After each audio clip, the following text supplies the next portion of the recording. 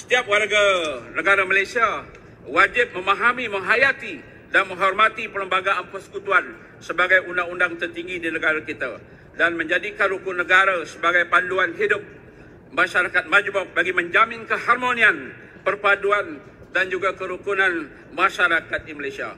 Teras pentadbiran negara kita selama ini menekankan kepada perpaduan rakyat berbilang kaum dan pembangunan negara di seluruh wilayah sejak mencapai kemerdekaan tahun 1947. Jumpul, sikit jumpul.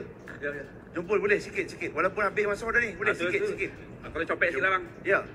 Ya, terima kasih uh, Jempol, terima kasih Tuan Jempol Tua. Tadi Jempol menyebutkan soal berkaitan dengan rukun negara. Ya. Setuju tak Jempol? Rukun negara sekarang ni seolah-olah macam kita abaikan. Kalau kita nak tengok rukun negara sekarang ni, yang pertama pergi ke sekolah.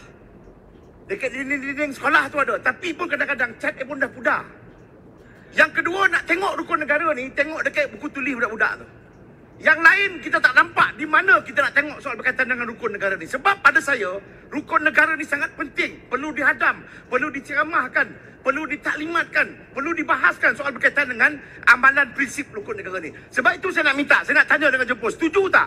Kalau di pejabat-pejabat kerajaan di sekolah-sekolah ni, kita ada letak gambar si Meruka Baginda Yang Tuan Agong, gambar Perdana Menteri, gambar Sultan.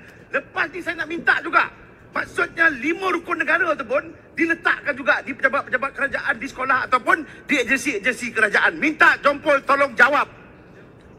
Jempol amat bersetuju. Tanya Sebab sebagaimana garang. kita sedia maklum bahawa rukun negara adalah panduan hidup rakyat negara kita. Dan ini sangat penting. Inilah Tanya ke marah tu. Ya, sangat penting. Dan uh, ini yang terganggu ni.